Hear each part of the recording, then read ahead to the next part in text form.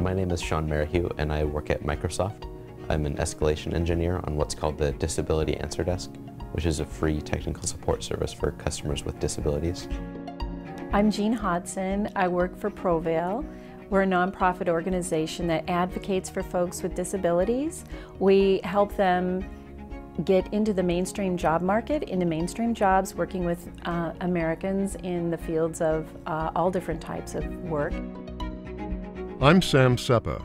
I'm an HR professional and I've worked for a variety of tech companies over the last 10 years of my career. And now I'm focusing on recruitment for software engineers. I'm Suzanne Sears, and I work for the University of Illinois, specifically with the Disability Resources and Educational Services Office. I'm Mike Forehand. I work in the recruiting space with a focus on creating diversity outreach primarily toward the disabled community. My name is uh, Tony Bayless. I work at uh, Lawrence Livermore National Laboratory uh, that's in Livermore, California. It's one of 17 Department of Energy uh, labs. Our focus is on national security. Recruiting and retaining employees with disabilities. People with disabilities are, in general, fairly underrepresented in a lot of fields. Um, computing is definitely one of the, the top driver, top fields there. Um, I think it's really critical that we that students feel encouraged and empowered to pursue fields in computing um, because I think they can pave the way to make everyone else's experience with technology better. How are we supposed to solve societal problems if we're not representing society as a whole?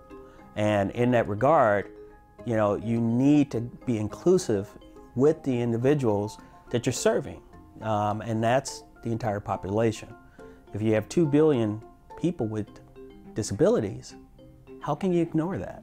How can you ignore not inviting them into the discussion. Candidates with disabilities have a unique thought process to bring to a company. Our country is diverse, so the marketplace needs to attract a lot of diverse people who will use products that we're selling or the services we're providing. If a country is diverse, your team needs to be diverse as well to parallel what our country's demographics are. as team members, they're just as passionate about making a contribution and being a part of a broader team as everyone else is. Um, the difference being is that they look at the world and they have different problem solving and coping skills that lead them to different solutions. I don't think it's the case that someone with a disability knows everything about everyone else's disability, um, but I think they bring a certain empathy to a company so they'll understand that people have different experiences. Um, and having interns and employees with disabilities, I think they can bring that perspective. I think having people with disabilities um, in your culture actually helps people to better understand about our cultural difference, about our learning differences, about how uh, you can have different perspectives. More sensitivity is needed when you are talking about interviewing these types of candidates. You need to think about the support that they are going to need in the interview beforehand. And have more of a streamlined process that makes the candidates feel welcomed right at the start of the interview so that they feel welcomed into the team. They know what's going to have to be happening in the process of the interview. It empowers them and really allows for that magic to happen in the interview process. We work currently as a partner with Microsoft on their autistic hiring program. We help them recruit. We help them uh, obtain um, lots of individuals that they might uh, include in their hiring pool. We coach the folks that are going to be interviewing them. We coach the interviewees in um, helping through some of the difficult areas like phone screenings, uh, making a little bit of a softer uh, job interview process so that you can get to the core of the skills of the individual and see if they're a great fit for your employment. One study that really inspired me that I read about was asking customers in the marketplace if they learned about a company that hired people with disabilities, What they found out was that customers that found this out about companies would be more willing to buy their products and services. And we learned it's because customers have more respect for a business that does that, not only because it's the right thing to do, but because they are really taking charge of that responsibility. They're committed to diversity and hiring a diverse workforce, including people with disabilities. Anytime that inclusion is, is part of a goal, everyone benefits. And when there's technology that is inclusive, such as videos that are captioned or websites um, where it's more accessible to someone with any type of um, difficulty, then, then there's a more expansive audience. There's more expansive ability for um, profiting.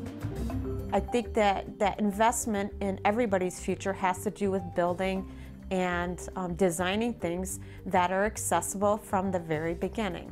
It's investment for all of our futures, not just the person, individuals with disabilities. And none of us know what's going to happen to us individually. In a matter of seconds, your whole life can change, and you yourself may join the disability community and need these accommodations. So it's not just about, you know, hiring and recruiting people, but it's an investment for all of us. I think we have a challenge, but uh, to include people with disabilities, that we have to start to work on shedding biases in general and these implicit and unconscious biases across the board, and that's even with people with disabilities. Um, I think we'll have a long road, unfortunately, but um, I think it's, it's, a, it's a road that we can work together. I think we need organizations and companies to collaboratively work on this effort. So in an environment where industry is based on cross-cultural collaboration and everything's kind of very team oriented, having a completely different point of view is invaluable. When we're bringing the perspectives and at least considering the different perspectives that other people have, I think we can make our products way more inclusive, make our culture, make our workplace just way more inclusive and a better place to be. Truly, attitudinal access is the most important part of being inclusive. It's not physical access, it's attitudinal access. So we have to impact culture and um, and I know that takes a while and that, that can be challenging, but I think starting out small and having one good success is an incredible start and then you build momentum from there. Engage with Access Computing to develop strategies for recruiting, onboarding, and retaining employees with disabilities. For more information on Access Computing, visit uw.edu slash accesscomputing. Access Computing is a collaboration of DOIT, the Department of Computer Science and Engineering, and the Information School at the University of Washington. This video and other aspects of the Access Computing Project are funded by the National Science Foundation as part of the Broadening Participation in Computing program of the Directorate for Computer and Information Sciences and Engineering, CISE, grant number CNS 1539179. Any opinions, findings, and conclusions or recommendations expressed in this video are those of the author and do not necessarily reflect the views of the National Science Foundation. Copyright 2016, University of Washington. Permission is granted to copy these materials for educational, non commercial purposes, provided the source is acknowledged.